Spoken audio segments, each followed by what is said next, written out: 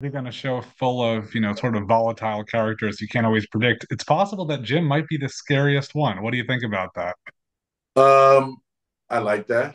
I want Jim to be the scariest one. Uh, it's important to who he is, but um, it's where that where his his scariness comes from. Um, when, when you have a man, you have a man who is just you know sociopath. That's one thing, but you have a man whose daughter was killed, and he wants some answers. That's a whole other thing.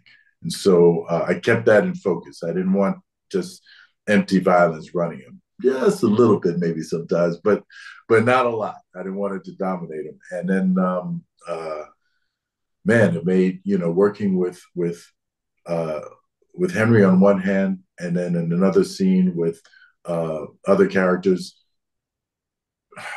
and everyone had their different take. Then every a different side of Jim could come out.